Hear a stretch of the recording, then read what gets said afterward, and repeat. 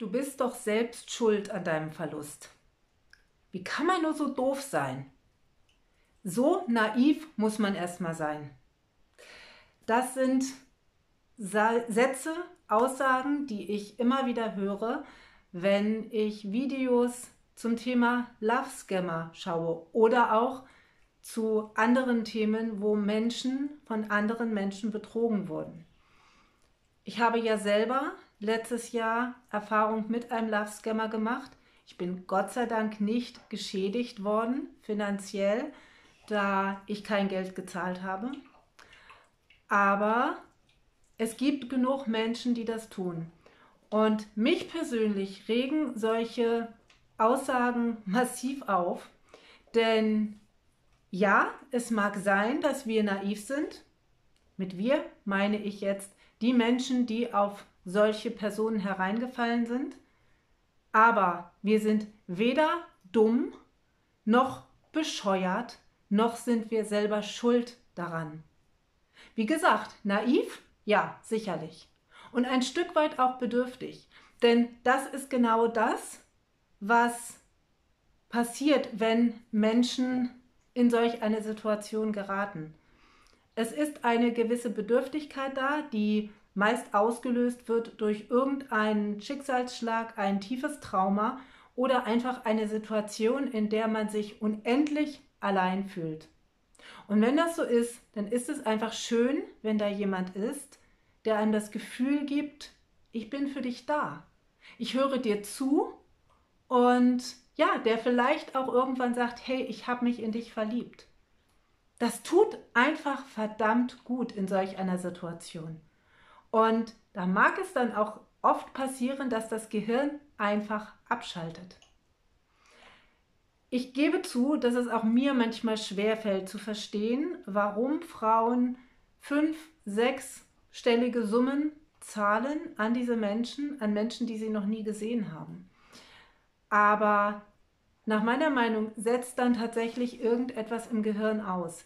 Aber auch das hat nichts damit zu tun, dass diese Menschen dumm oder blöd sind, sondern sie sind natürlich zu dem Zeitpunkt schon so gefangen in dieser ganzen Geschichte, in ihrer Traumwelt, dass sie nicht sehen wollen, dass das nicht die Realität ist.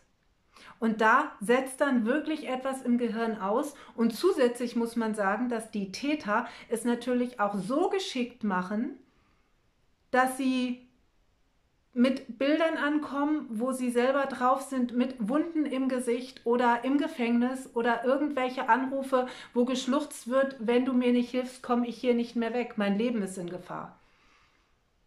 Und das ist wirklich ein Riesenproblem, wenn diese Vertrauensebene aufgebaut ist und dieses Gefühl der Verliebtheit, ob man das jetzt verstehen kann, dass man sich in jemanden verlieben kann, den man noch nie live gesehen hat oder nicht, sei mal dahingestellt. Wenn dieses Gefühl aufgebaut wurde, dann zu widerstehen, wenn der geliebte Mensch sagt, hier, ich bin gerade massiv in Nöten und wenn du mir nicht hilfst, dann passiert was ganz Schlimmes.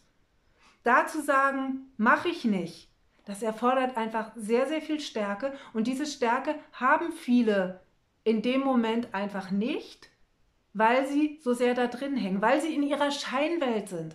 Aber das hat, wie gesagt, nichts mit Dummheit zu tun, sondern das ist ja eigentlich im Grunde ja auch ein Hilferuf und etwas, was eher traurig macht, dass diese Menschen sich so einsam fühlen, so verloren sind oder so in ihren Mustern drin hängen, dass sie da nicht rauskommen.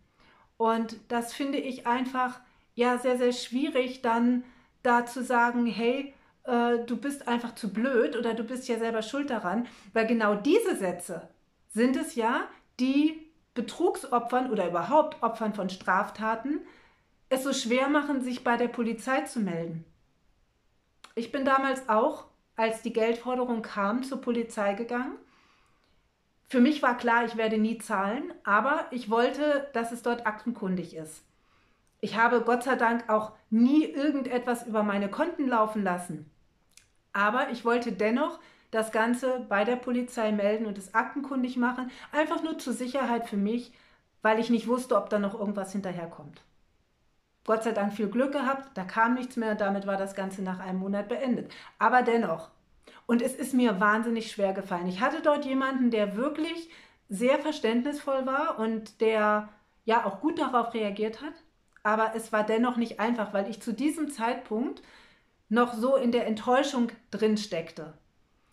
Und wenn dann auch solche Aussagen von außen kommen, wie du bist ja selber schuld daran oder wie kann man nur so blöd sein, dann ist doch verständlich, dass so viele sich gar nicht trauen, es öffentlich zu machen, darüber zu reden und daran tatsächlich zum Teil kaputt gehen.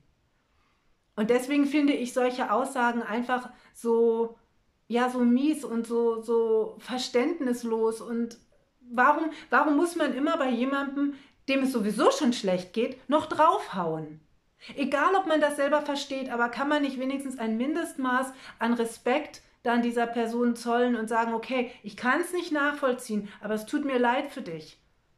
Oder versuch dir Hilfe zu suchen oder irgendwas, aber bitte nicht mit solchen Sachen auch noch draufhauen. Weil es geht hier ja auch dann nicht nur zum Beispiel um Opfer von, von Scammern, sondern gerade auch das Thema der Verge ist etwas, was ganz, ganz stark auch da reinspielt, dass auch da ja viele Opfer sich nicht trauen, das anzuzeigen.